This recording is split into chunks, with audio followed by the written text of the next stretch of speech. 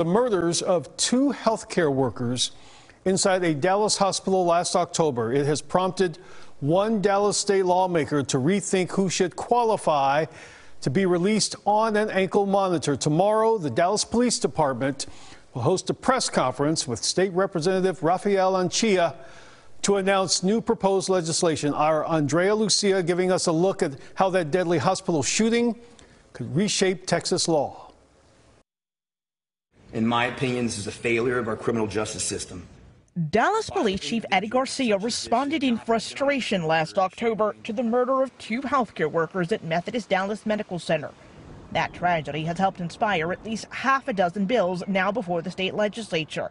The suspect, Nestor Hernandez, was paroled with an ankle monitor six years into an eight year sentence for violent robbery.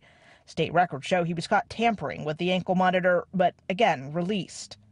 He was still wearing that monitor when he came here last October for the birth of his child. Police say he flew into a jealous rage, assaulted the baby's mother, and then killed a nurse and social worker with a gun he smuggled in. In a joint report commissioned by Governor Abbott in response to the shooting, the Texas Department of Criminal Justice and Bureau of Pardons and Paroles recommended the legislature make cutting off an ankle monitor a crime rather than the administrative violation it currently is.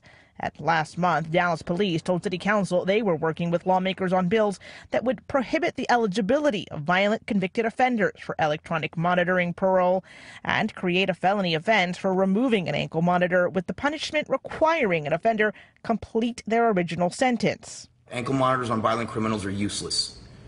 Uh, and so that's what my biggest concern is. Yes, everyone gets the opportunity for parole, there's no question about it.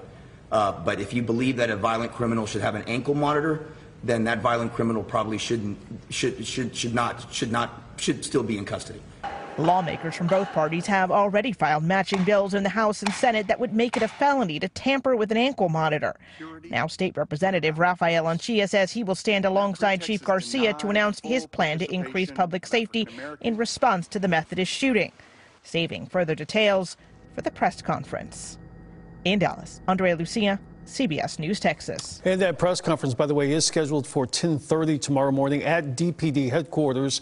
Several city council members and the head of the DFW Hospital Council also expected to attend.